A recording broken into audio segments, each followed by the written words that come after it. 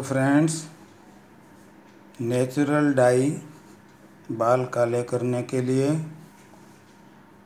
आजकल छोटे छोटे बच्चों के सात आठ साल के दस बारह साल के लड़के, लड़कियों के लिए बहुत यूज़फुल है क्योंकि इस उम्र में भी देखने को मिलता है कि बाल अक्सर सफ़ेद हो गए हैं, गरे हो गए हैं।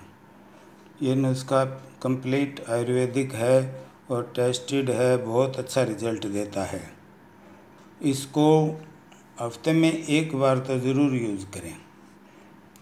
आपका रिज़ल्ट अच्छा आए तो दोस्तों को शेयर करना, खुद भी वीडियो को लाइक करना और चैनल को सब्सक्राइब कर देना।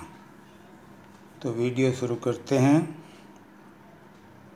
इसमें चार चम्मच सूखा आंवला का पाउडर हो। तो वो एक लोहे की कढ़ाई में भिगो दें एक गिलास पानी में। अगर पाउडर नहीं है तो सूखे आंवले भिगो सकते हैं। उसके अंदर 20-25 कड़ी के पत्ते ताज़े हैं तो मिक्सी में क्रश करके डाल दें। नहीं सूखे हैं तो हाथ से तोड़ के डाल दें। उसके अंदर लगभग एक डेढ़ चम्मच फटकड़ी लाल वाली गुलाबी, हल्के गुलाबी रंग की होती है, वो मिल जाए तो बहुत ही अच्छा है, नहीं तो सफ़ेद वाली भी डाल सकते हैं। डेढ़ चम्मच के आसपास फटकड़ी पाउडर करके डाल दें। अब इसको अच्छी तरह हिला दें और उसके अंदर एक नींबू निचोड़ दें। फिर अच्छी तरह हिला के ढक के छोड़ दें। कम से कम दो ढाई घंटे के लिए ढक के छोड़ दें।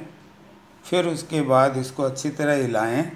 और सारे मिश्रण को निकाल कर मिक्सी में डालकर एक बार ठीक से चला दें। इस पेस्ट को छान कर बालों में, जड़ों में अच्छी तरह मालिश करें, खोपड़ी में अच्छी तरह मालिश करें और बाल गीले हो जाएँ, कपड़ा बाँध कर दो घंटे के लिए छोड़ दें। दो घंटे तक धोना नहीं है। दो घंटे के बाद हल्के गुनगुने पानी से धो लें लेकिन कोई साबुन, शैम्पू यूज़ नहीं करना। मेन कारण सफ़ेद होने का बालों का।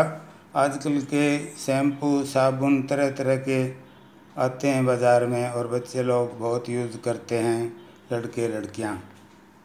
इनसे होता है सफ़ेद बालों का ये कारण है। दूसरा कारण ये है, आजकल के बच्चे टेंशन बहुत लेते हैं, पढ़ाई की, नौकरी की और सौ तरह की टेंशन। टेंशन, डिप्रेशन भी बाल सफ़ेद होने का बहुत बड़ा कारण है।